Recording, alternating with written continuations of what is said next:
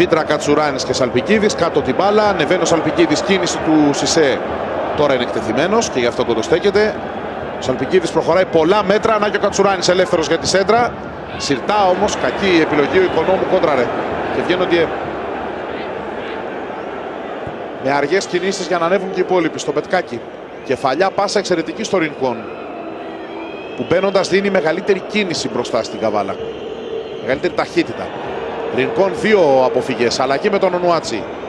Που την έχει την μπάλα τώρα και μπαίνει στην περιοχή επικίνδυνα. Ο Ρινκόν του τη δίνει στην πλάτη λάθος. Μολάρ εξουτάρει γκολ. 0-1. Στο 68 λεπτό με εξαιρετική κυκλοφορία της μπάλας. Πολύ ωραίες αναλλαγές και την τελική πάσα να περνάει μεν από τον Ονουάτσι στην πλάτη του Ρινκόν αλλά να βρίσκει το Σμολάρεκ ο Πολωνός σκοράρει.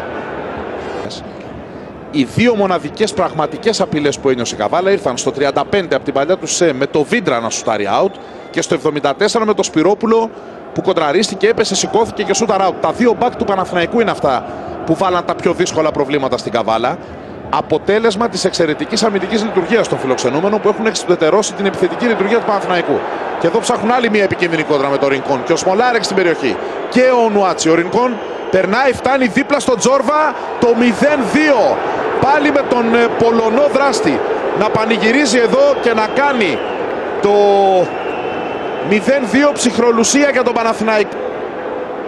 Καταπληκτική η όλη ενέργεια του Ρινκόν που κάλπαζε